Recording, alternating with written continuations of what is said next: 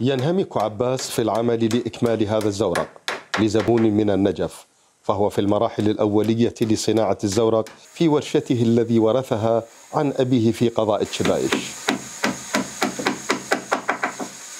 تغيرات كبيرة طرأت على صناعته رغم ذلك ظل شكله محافظا على طرزه السومرية. فهيكل الزورق الذي كان عماده الخشب والقار بات يقتصر على مقدمته وجزئه الخلفي.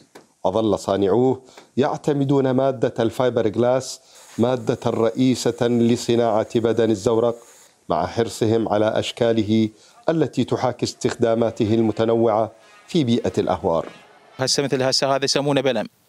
الأصغر منه يسمونه قلص. آه، ذاك أبو مي- ميليان يصير عنجين ماطور أو مشحوف قبل يسمونه ذاك الهوري مال الصيد أبو النفر واحد يسمونه هوري. إي كل من وال- الكبير 22 مثلا يسمونه عشاري. هذا السومري قبل العنج ماله. هذا يسمونه عشاري. اضطراب بيئة الأهوار وتعرضها لموجات جفاف عديدة خفضت الطلب على الزوارق ذات الأحجام الكبيرة وربما تغيب الأحجام المتوسطة أيضا إذا ما استمر تدني مستوى المياه.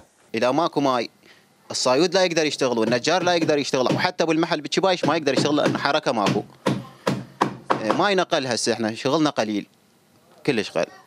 ما نقدر لأن ماي ماكو بعد البلد من تجي تسوي وين تمشي بيه؟ مثلا بالشارع غير بالماي الماي نقل كلش قل.